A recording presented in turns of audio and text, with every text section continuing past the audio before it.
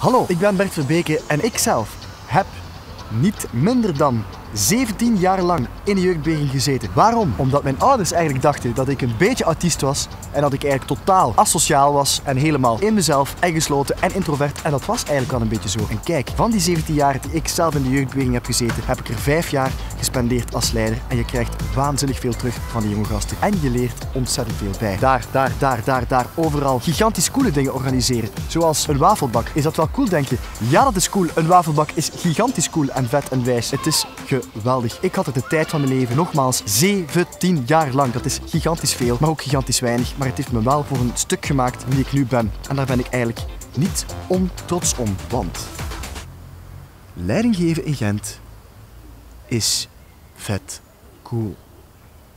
Yeah, baby. Toon zelf wat er geweldig is aan leidinggeven in Gent.